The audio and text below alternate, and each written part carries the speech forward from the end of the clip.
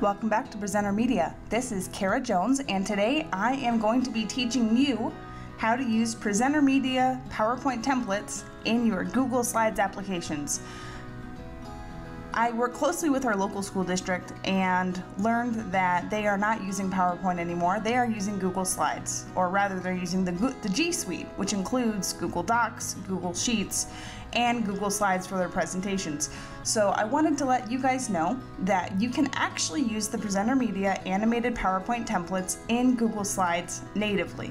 So what we have in the background here is one of our more popular PowerPoint templates for teachers. It's called School Kids Silhouettes. It's just a great general PowerPoint template that people can use throughout the school year, especially when you're doing those first day or those first week orientations for, you know, the kids. This is really generated towards those kids that are in that elementary and middle school bracket.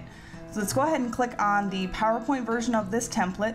Don't worry if you guys love this template, I will include a link to it in the description below here for you. I downloaded the template and I'll open it just so you can be able to see it, how it functions in PowerPoint 365.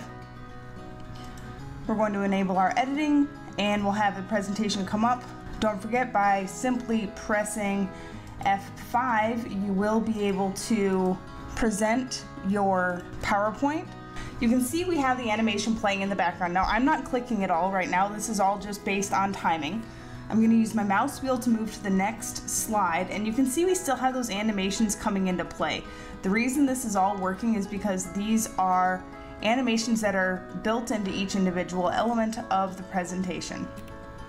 Now what we'll do is we will close PowerPoint, don't worry about saving, and we're going to open up Google Slides. We have the exact same file open in Google Slides here and we will go ahead and play this presentation for you as well. Now, if you are not familiar with Google Slides, let me know. I can give you guys tutorials on Google Slides just as well as I do PowerPoint. So I'd be happy to teach you some tricks about using Google Slides to be able to make the best presentations available. We're going to go ahead and click on our view present, which is going to open that up in that presentation view. And you can see our animations are still working natively in this. Again, when we want to move on to our next slide, we are going to be using that same mouse wheel feature, or it would be a click. So you guys, I'll click for this next one so you guys can hear it and we're moving on to the next slide. This functions the exact same way as PowerPoint, so you don't have to worry about creating a template for, from scratch for Google Slides. Again, this is at Presenter Media. Our PowerPoint templates work natively in Google Slides. Something else that's really fun is our animations and our clip art images can also be inserted into these. All you have to do is download the animation and then insert it into your presentation. So for this example, we have a coronavirus causing distance between a teacher and a student. I downloaded this as a GIF. That's the 500 by 500 pixel GIF. We're going to go into our Google Slides, go to upload from computer, double click that, and you can see that GIF is already animating. So this is going to be looping indefinitely for you. And when we go to present this, it's still going to be playing. How great is that, that you can be able to use these little animations to be able to just kind of enhance some of those presentations that you're making.